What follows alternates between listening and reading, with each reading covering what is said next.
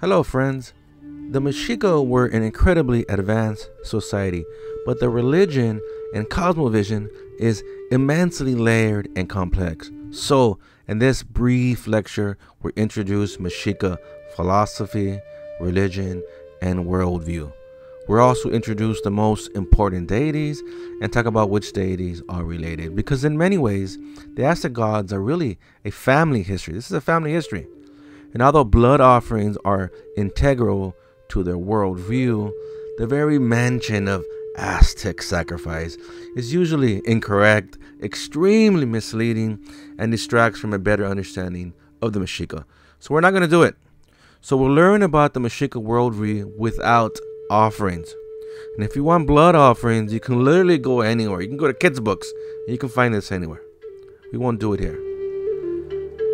So to better understand who the Mexica were, let's read an axiom recited to newborn babies. And now what this type of dicho is called Huehuetlahtolli. And it reads, You were sent here on earth. Thou came not to rejoice. Thou came not to be content. Thou came that thy bones, thy body should endure pain, suffer affliction, and thou will work like a slave. You will labor, and you will suffer weariness here on earth. For this reason, you were sent. Damn! Happy, Happy birthday, birthday. little one! What does this teach you about the Aztecs? The Mexica are serious people. And although they freaking love their kids and they call them precious jade, these ancient Mexicans passionately believe in hard work, devout service to the state, and service to the God, to the dozens of patron supreme beings that they have. Complete order and a sense of duty for everything in their lives. And a strong family unit is also crucial. And the punishments for not following these orders were severe. So here is an Aztec father punishing his child by forcing his 11 year old son to inhale chili pepper smoke. Now, strict law and order was also set for females. Again, the Mexica are some serious people. By the way, although the Mexica has strict rules and punishments, they don't punish kids until they're at least eight years old. Okay, now, the Mexica religion is also heavily invested in concepts like duality, like husband and wife, male and female, like near and far, and dual natural cycles like day and night, like drought and rain, life and death. And rebirth is crucial in the worldview, or the idea of death and life and afterlife. Just like you see here, the snake must shed their skin several times a year or it will die. It must be reborn. You must be reborn. There are about 700 species of snakes in Mexico, so it's the perfect metaphor for the Aztec worldview of rebirth, reincarnation. Regeneration is crucial to the Mexica. Rebirth, duality, and natural cycles are abundant in Mesoamerica.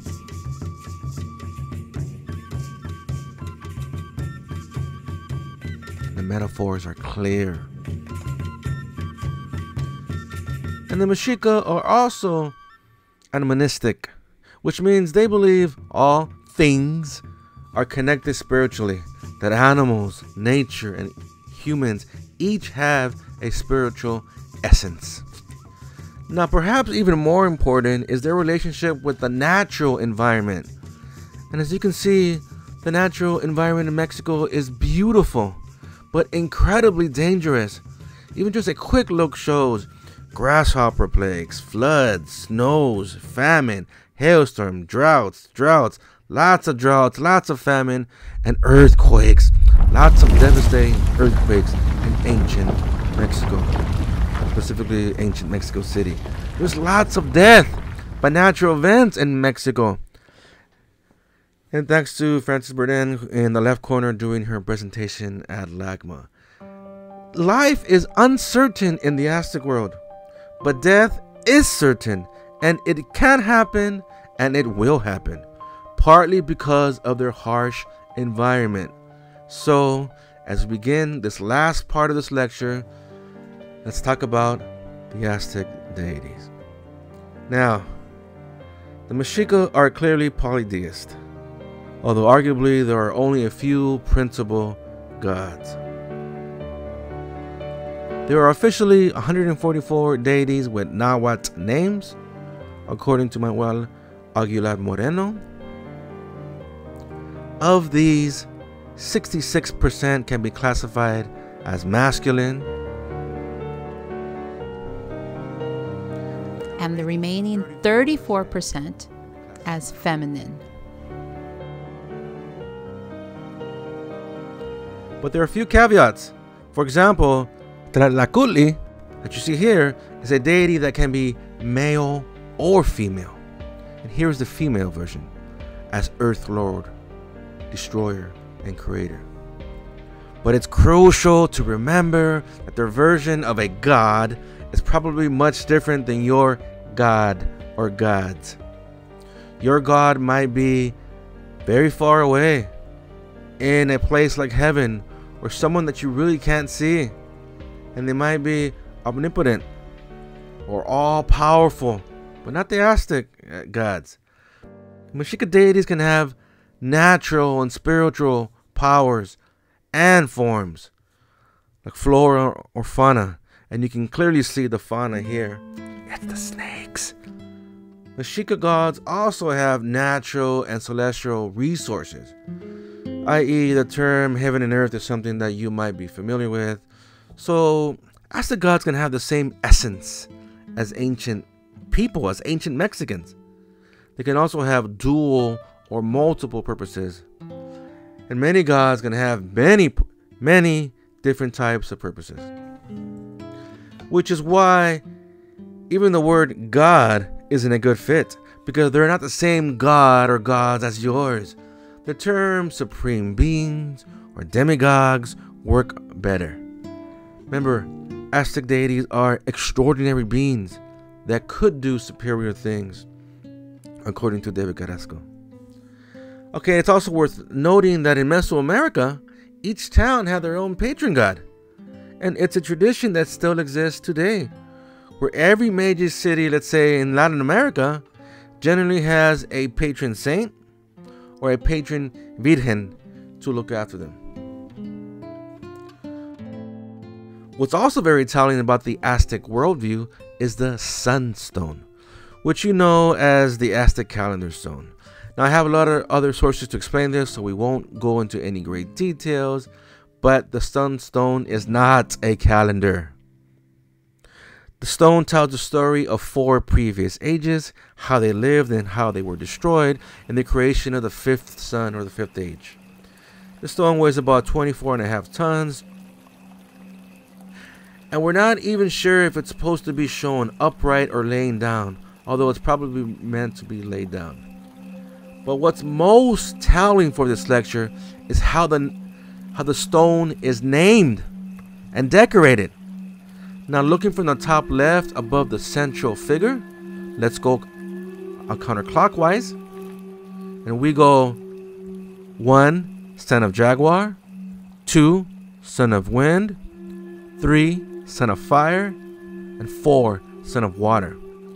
Now, these parts of the stone are named after the force that destroyed them, not what gave life to them.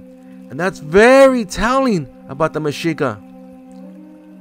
Each era or sun was destroyed by jaguar, wind, son of fire, and water.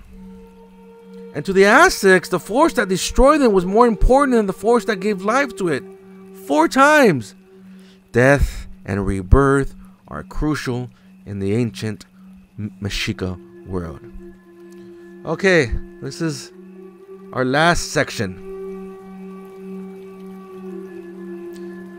And it's about the Mexica Pantheon. And it'll be quick, but you can learn a lot. So let's start with Ometeotl. Ometeotl is a dual divinity or lord of duality, the Aztec creator god that was both male and female. And from Ometeotl, four sons were born as the four directions, the four cardinal points. The black Tezcatlipoca is called Tezcatlipoca or smoking mirror. The white Tezcatlipoca is Quetzalcoatl. He was the dual of Tezcatlipoca. The blue Tezcatlipoca was Huitzilopochtli, the god of sun and war. And the red Tezcatlipoca was the god Xipe Totec, the god of vegetation and renewal of nature. Now there are many important Aztec supreme beings, but there but these are the most important. Let's go over a few and kind of fast. Remember, this is just an introduction. So we've covered Ometeotl and the four brothers. So now on the top left, Coatlicue, the mother of the gods, with her son Huitzilopochtli, who fought off his sister Coyolxauhqui. Now, bottom left to right, Tlaltecuhtli, the earth lord, uh, Tlaloc, the god of rain, Xochipilli, the prince of flowers, god of dance and music, Mictlantecutli, the god of dead, Tonatiuh, the sun god, Centeotl, the maize god, and Xipe Totec, the flayed one, the god of spring and regeneration. And there are many, many more that you're going to have to learn on your own. And how do we know their importance? Because we can look at the most important structure in the Aztec world, where the fifth cardinal point, Coatepec, Snake Mountain, also known as the Templo Mayor, the main temple. To the Aztec, this is the Axis Mundi, the literal center of the universe. This is where you find all these deities and the most important building. This is the setting for the birth of Huitzilopochtli from his mother Coatlicue when she fared her daughter Coyolxauhqui. Again, this is a family history. Mother, son, sister, but there's no dad. It's like Toy Story. There's no dad here. And there's also Aztec demigods that are married. Ah, get cute. But if you're thinking that they look miserable, uh, remember they are married. So, yeah, we're gonna wrap up this lecture. Thank you for listening. Here are a few great sources for future learning, uh, including something that I wrote. You can see it on the bottom left-hand corner. It's called "Nearly Everything You Were Taught About Aztec Sacrifice Is Wrong." Please find this great article on Mexicolore. And let's end with one more quote, which is very, very telling. And I'm going to go ahead and straight reading. This is what Aztec life really was.